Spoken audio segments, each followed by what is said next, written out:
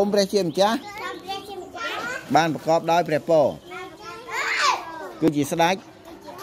នៅលើពិភពលោកទាំងមូលដែលបានប្រទានបានព្រានលុយមកផែនដីនេះលើមកកាន់ដីនេះសម្រាប់ទូបង្គំសម្រាប់ទូកនោះទាំងអស់គ្នាបានចាយសូមអត់ទោសសូមអរទោសដល់ទូលបង្គំដោយទូលបង្គំដោយទូកនោះបានអត់ទោស ដល់អ្នកតែទៀតដែលធ្វើខុសដែលធ្វើខុសនិងទូលបង្គំដែរសូមគំនុំសូមគំរាមពួកទូលបង្គំទៅក្នុង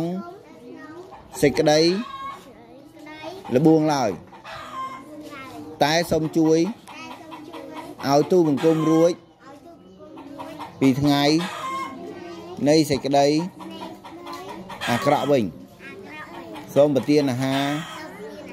ដែលទូលបង្គំដែលទូកនោះត្រូវការត្រូវការនៅថ្ងៃនេះនៅទូលបង្គំទូក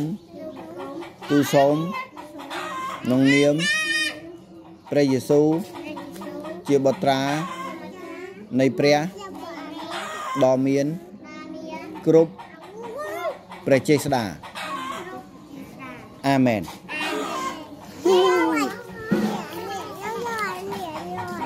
ណែណែណែ មើលឈប់អានេះហើយ3នាក់អងអូនហើយ3នាក់ណែ1500 1500 3នាក់វា3នាក់អូនឆោតទឹកអុយទៅអូននៅមកអូនអូនមិនចូល